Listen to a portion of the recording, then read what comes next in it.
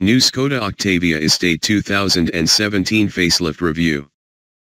Skoda's Octavia Estate remains a family car that can tick all the boxes, put them it's the boot and drive away, economically. Verdict. 4 star Incredibly competent in almost every aspect, if not particularly exciting, this updated Skoda Octavia Estate only reinforces its position as one of the most recommendable family cars on the market. Its blend of space, practicality, value, and comfort makes it one of the most accomplished in its class. Out of the countless number of models and derivatives offered by the VW Group, a Skoda Octavia Estate powered by a 148 bhp 2.0-liter diesel engine is about as sensible as things get. It's not going to turn many heads on the high street but if a practical, affordable, and refined family car is what you are looking for, you really can't do much better. This is the lightly updated version of the Skoda's best-selling Octavia. Changes aren't revolutionary but since its predecessor ticked all of the boxes, a major revamp was hardly necessary. Nevertheless, the designers have been to work on the front end sculpting a set of new split headlamps, while inside updated infotainment systems and a raft of new safety tech have been added. In SEL spec, the most popular trim level, and powered by Skoda's 148 bhp 2.0-liter diesel, it costs from £24,556 a £1,200 premium over the smaller hatchback.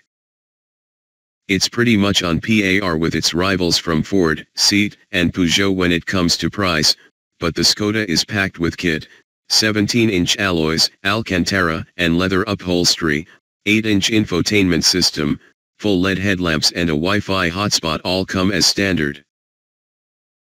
Aside from the Peugeot 308 SW 660-liter boot, the Octavia is one of the most spacious and practical estates in its class. The 610-liter load bay, the hatchback still offers an impressive 590 liters, extends to 1,740 liters when you drop the rear bench.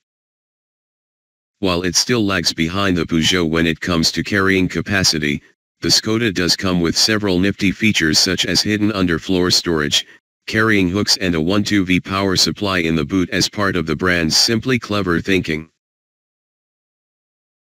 The 148 bhp 2.0-liter diesel is one of six engines now offered in the Octavia, Three petrol and three diesels make up the range.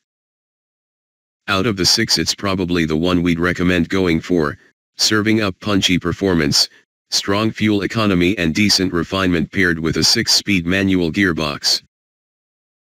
At lower speeds the engine does grumble slightly, but once you get going it fades away. On a long run don't be surprised to see yourself getting close to Skoda's 65.7 mpg economy claim, either. Mechanically there have been no major updates to the Octavia, but adaptive dampers have been made available as an optional extra. They offer comfort, normal and sport driving modes, but there's very little difference between any of the three. The driving experience is pretty much like the rest of the Octavia, sensible, easy to get on with and without many surprises. But that's not a criticism. It soaks up bumps in the road with minimal fuss, has light but accurate steering and even feels at home on a tight and twisty B road. The low-down torque of the diesel engine, 340 Nm, and supple suspension means it tackles undulating roads swiftly and comfortably. Get it on the motorway and its relaxed nature makes long motorway slogs a breeze. As a car designed to carry passengers and luggage comfortable and safely over many miles, the Octavia Estate is up there with the best. Key specs. Model, Skoda Octavia Estate SEL. Price, £24,565.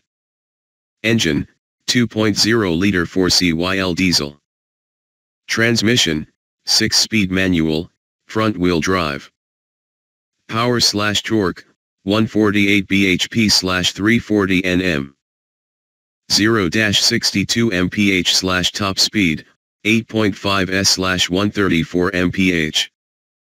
Economy slash CO2, 65.7 mpg slash 113g slash km. On sale, now.